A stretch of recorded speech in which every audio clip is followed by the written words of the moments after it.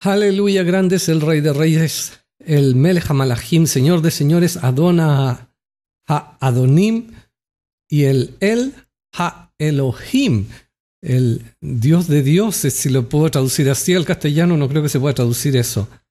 Grande, Gadol, Umehulal Meod, Gadol es grande, Gadol, grande, Umehulal Meod, y muy alabado, muy digno de ser alabado, lo traducen eso de Rab Koach y lleno de poder, lleno de poder. Él es digno, Él es digno. Yeshua es su nombre. Yeshua Jesús Begibor. Maravilloso, eres poderoso y héroe. Yeshua, como dice el Salmo 24, me parece. Eh, Yeshua Gibor Milhamá, Yeshua héroe de guerra. Aleluya. Bendito es su nombre, grande es su nombre en toda la tierra. Estamos en el día, hoy es el día 16 de la cuenta del Homer, de los 50 días hasta el día de la fiesta de las semanas, y es el día 6 del Jodesh 2, del mes 2. Aleluya, ah, nuevamente. Aquí yo quiero hacer unas notas al respecto eh, de la para allá. Eh, eh, de las dos parashot, en realidad del asunto de la lepra. Yo, esa es la nota que quiero dar eh, o quiero agregar, porque hay unas cosas que durante los años después de que hice esa grabación Yeshua ha ido entregando y en realidad el año pasado había algo muy especial cuando Yeshua nos abrió el versículo 8 de Deuteronomio 24, eh, que lo traducen clásicamente como en cuanto a la praga de la lepra, ten cuidado de observar diligentemente y hacer según todo lo que os enseñaren los Koanim levitas, según yo les he mandado. Así cuidaréis, cuidaréis de hacer. Esa es la traducción clásica. Entonces todos entienden de este versículo y yo entendí de que hay que hacer conforme a los levitas digan, a los Cohen me refiero, digan, con respecto a cómo tratar eh, las manchas en la piel y todo ese tipo de asuntos. Y resulta que no, que Yeshua me mostró que ese no es el, ese no es el río que nace de este versículo. Y para poder entenderlo quizás hay que leer el versículo siguiente, que dice, acuérdate de lo que hizo Yeshua, tu Elohim, a Miriam en el camino después que saliste de Egipto. ¿Se acuerdan que Miriam y Aarón hablaron mal de Moshe acerca de la mujer de Moshe? Y Miriam fue, recibió una nega, un golpe de, la, de lepra y la sacaron del campamento por siete días. Eh, y ahí fue cuando Moshe, en realidad, cuando vio esto, le gritó al Señor y le dijo, nah, él rapé, nah. O sea, la única vez que yo me acuerdo que Moshe le llama al Elohim él, eh, es esa. No existe otra. Cuando dice que Moshe gritó, parece que dice el versículo, no dice que dijo así suavemente. Le dijo, Nah, por favor, te ruego, Él es Dios en singular. Rapena, la, eh, me disculpan si no lo digo exactamente como es en, en hebreo, pero eh, quizás nadie habla hebreo de los que están escuchando, pero igual. O sea, le dice, eh, sánala, por favor. Entonces, pero le llama él al Elohim, la única vez que yo recuerde, no hay ninguna otra vez que diga eh, él sin decir una descripción como el Elión, el Shaddai, ¿me entienden? Pero no él solo, él solo en realidad es más para los, el Agadol, el Dios el Grande, es para los, los Elilim, para los dioses de las naciones. Em, bueno, entonces yo lo que quiero decirle es que no es que Miriam haya recibido este golpe de, de lo que llaman lepra, y quizás empecé mal con mis comentarios porque en realidad quería hablarles acerca del concepto ese de lepra, pero igual. Entonces, Miriam no lo recibió por no hacer lo que los Koanim le decían conforme a la mancha, a las manchas en la piel o las cosas que salen en la piel. Entonces, no, ella lo recibió por, por hablar mal de su hermano que es parte de la Torah. No hay chismosos, dice la Torah, es un mandamiento de la Torah, no ser y no hablar mal del hermano o no tener envidia del hermano, es, son mandamientos de la Torah. la Torah también tiene ese tipo de mandamientos, no todos los mandamientos de la Torah son algo así como, como se dice, físico. ¿Me entiendes? como hoja y a tu prójimo como a ti mismo. Es un mandamiento de la Torah de Moisés que Yeshua y viene a darlo de nuevo, lo repite, pero está dado, es un mandamiento de la Torah ese. Entonces, em, lo que yo quiero decirle es que el, énfasis y la revelación que me dio eh, Yeshua con respecto a esto, no es que me haya hablado así directamente, yo lo entendí y entendí que el Señor me está hablando, no tengo explicaciones para decirles cómo lo entiendo. Eh, es que hay que mantener los mandamientos para que no llegue una, un ataque de, del zarat, zarat. Ok, lo que ya traducen como lepra al hebreo, ahora voy a hablar de esa palabra. Esta es la revelación que recibimos este fin de semana. Eh, lo que traducen como tzaraat em, es con ain al final, o sea, tzaraat. Bueno, algo de fonética ese. Eh, lo que traducen como, eh, como lepra no es una buena traducción. Ah, mira, puedo decirlo de otra palabra. Yeshua nos dijo que es realmente una mala traducción, que no puede ser traducida esa palabra tzagat que aparece en la Torah, eh, que no puede ser traducida, que en realidad habría que dejarla así porque la palabra no existe en castellano. Eh, la, la, patología médica que llaman lepra hoy en día puede coincidir con un, un golpe o un de tzagat. Digo golpe porque el Señor le llama nega o un toque llamémoslo como toque, un toque de Zagat puede coincidir con lo que llaman lepra hoy día, pero no es necesariamente eso. Entonces, esto yo lo propongo, lo expongo, eh, les lo someto, eh, se dice en, en, inglés submit to you, o sea, te lo entrego como una revelación. Eh, es tzagat y no es lepra necesariamente. ¿Me entiendes? Lepra puede ser en algunos casos justamente eso. O quizás en todos, no lo sé. Yo no soy un, un amante de las patologías y de las definiciones de la medicina moderna acerca de, de todo lo que ataca nuestro cuerpo. No soy ningún amante, en realidad lo rechazo porque lo único que hace es traer problemas. ¿Me entiende? Para la, trae problemas de fe, ¿me entiende? El conocimiento de, de medicina moderna lo único que nos hace es desconfiar en nuestro Elohim y aceptar las, eh, los ataques en nuestro físico, las enfermedades, como em, aceptarlas más fácilmente. Eso es lo que estoy tratando de decir. ¿Me entiendes? O sea, hay un dolor aquí y como yo sé medicina digo, ah, esto debe ser tal cosa. O sea, todos saben en un nivel folclórico no, o científico medicina porque es una cosa eh, que hemos aprendido a medida que hemos ido creciendo. Entonces la persona acepta fácilmente las enfermedades cuando tiene conocimiento de medicina. Porque basta que tenga el síntoma para aceptarlo. Y eso es lo que está tratando el enemigo, que a través de un síntoma nosotros aceptemos la mentira de una enfermedad para poder entrar en nosotros.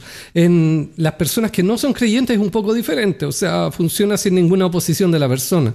Pero en los creyentes tiene que haber oposición y la medicina no, nos ayuda para nada.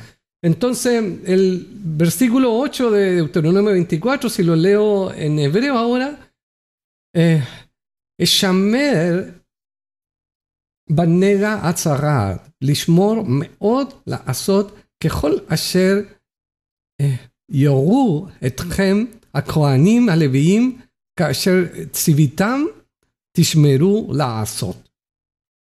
Ah, ¿Qué puedo decir de eso? Es casi lo mismo que en castellano.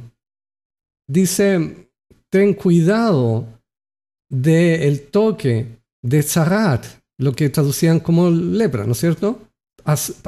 hacer muy bien, muy diligentemente y hacer, de nuevo dice, como todo lo que les muestren a ustedes, los Koanim, levitas,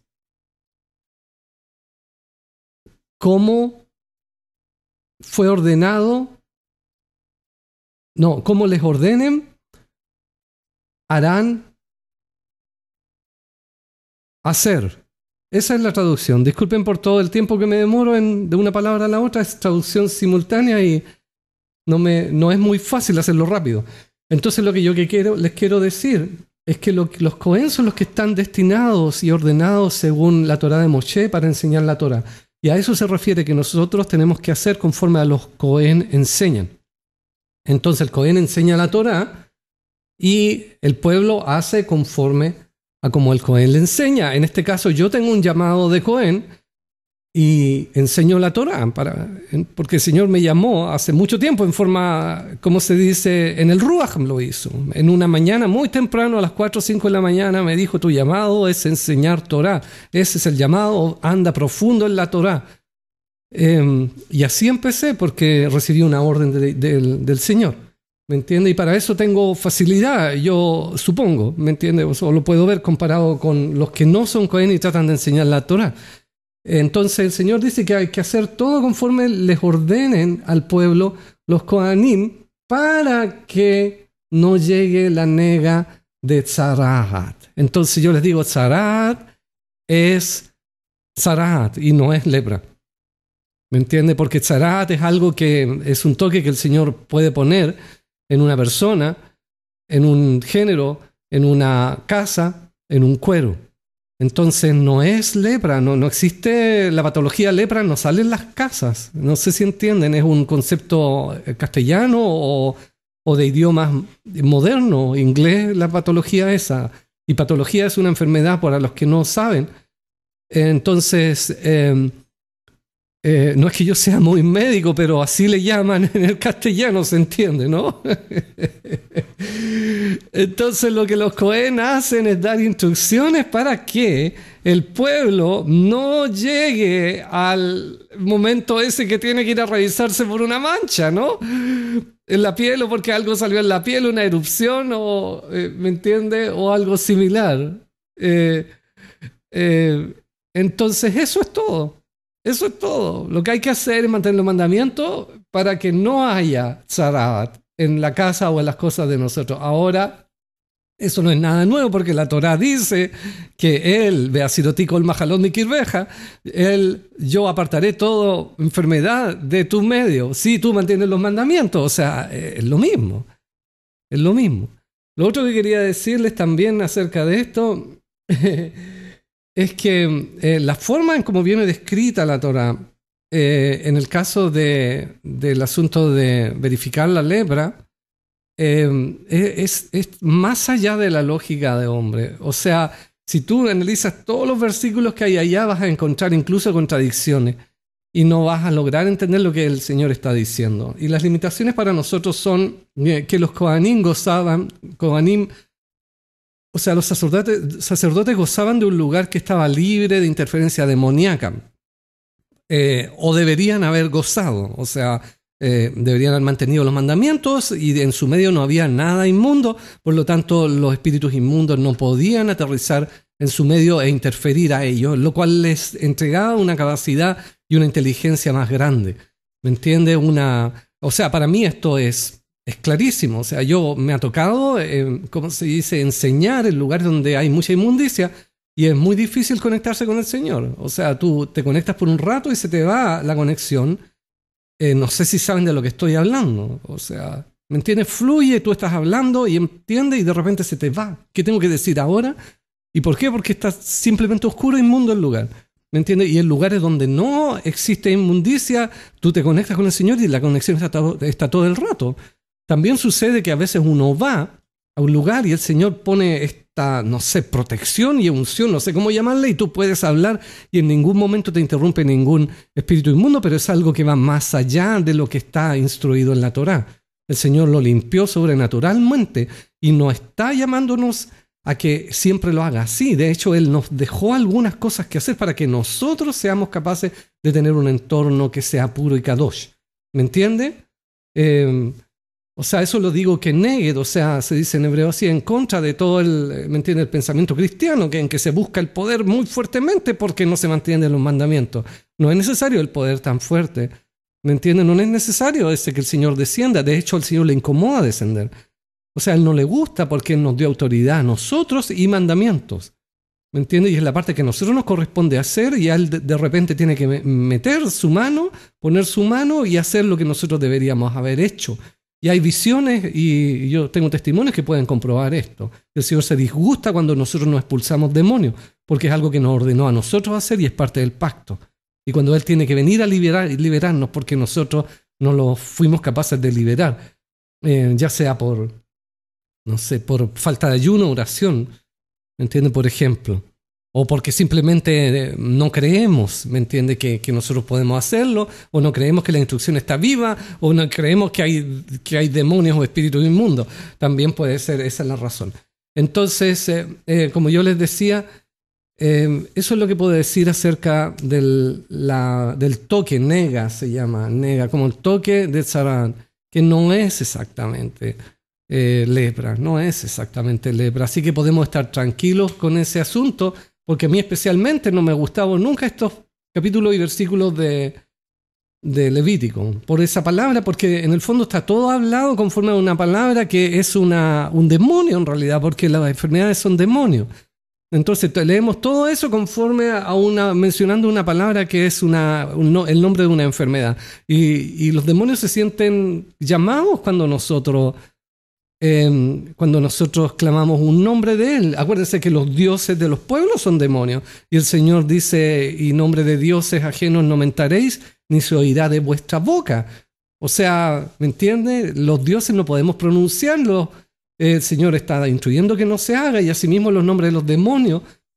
Eh, nosotros no lo pronunciamos así como si nada. Y resulta que al leer la porción de la Torá en castellano aparece todo el tiempo este nombre que se está repitiendo y repitiendo, repitiendo de, de una enfermedad, de un demonio. Entonces no, no, no me da shalom eso. No, no, no está bien. Está bien utilizar el nombre de un demonio para expulsarlo.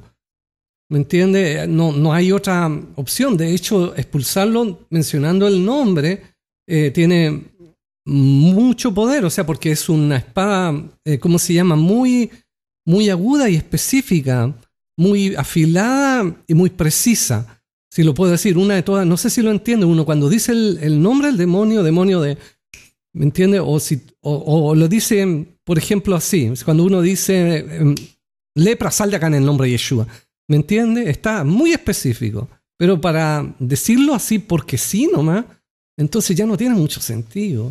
Una de las primeras cosas que Yeshua me dio en los primeros meses después de que me rescató él y puso su ruaj en mí, o después de que me llamó, eh, fue, me, mencionó los nombres de, las, de, los nombres, los nombres de los días de la semana.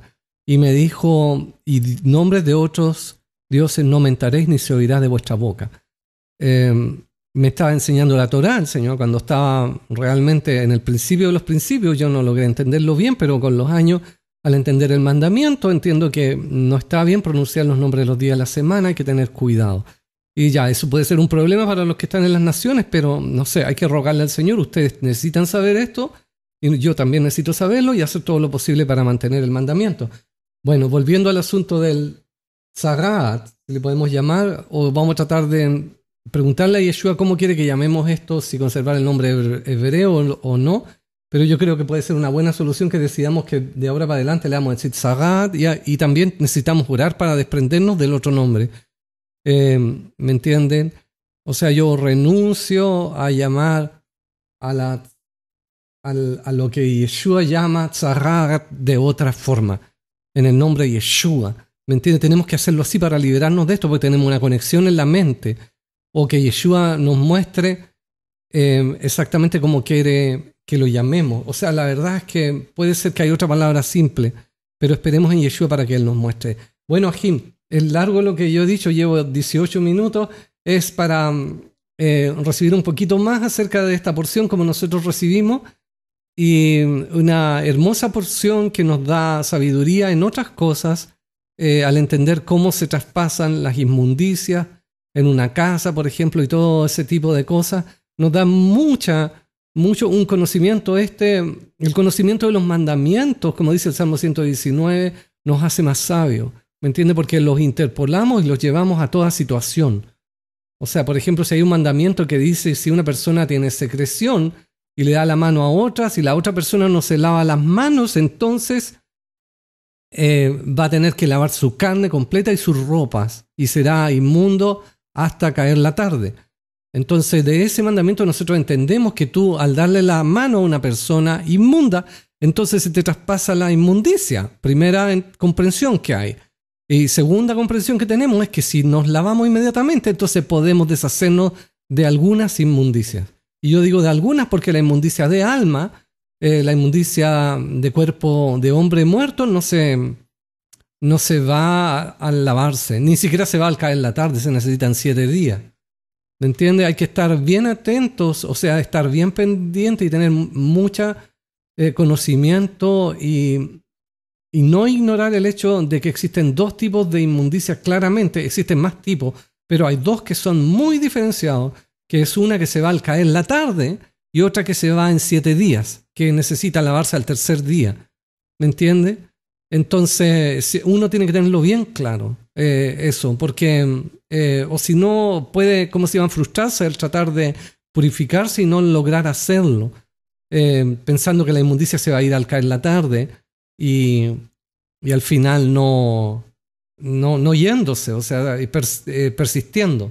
Y recuerden siempre lo que yo les he dicho, que un síntoma que está en nuestro cuerpo y no se va al caer la tarde después de habernos lavado y lavado nuestras ropas, es una inmundicia de alma y que ese síntoma debe irse en siete días. El problema es que en siete días probablemente la mayoría de la gente ya recibió el síntoma como una enfermedad. ¿Entienden el problema? O sea, tenemos que ser porfiados en la fe. Tú tienes un síntoma, un dolor aquí, un dolor allá, no sé, cualquier cosa.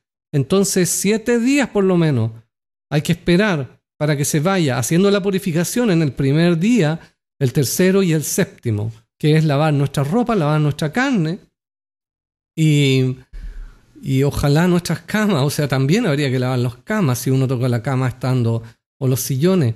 Y al final todo lo que estoy diciendo va a causar en algunos, ¿cómo hago todo esto?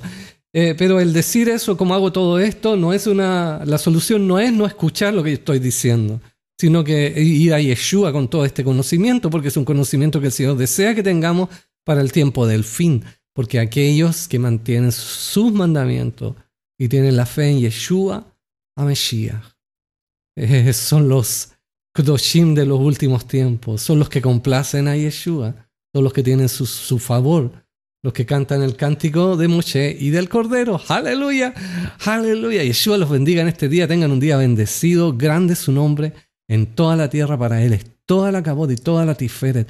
Yeshua, te pido que ve estas palabras, Señor, en el nombre de Yeshua sean, Señor, una verdad, una realidad en todo el que está escuchando esto, que sea una bendición este mensaje. Beshem Yeshua Mesías, aleluya.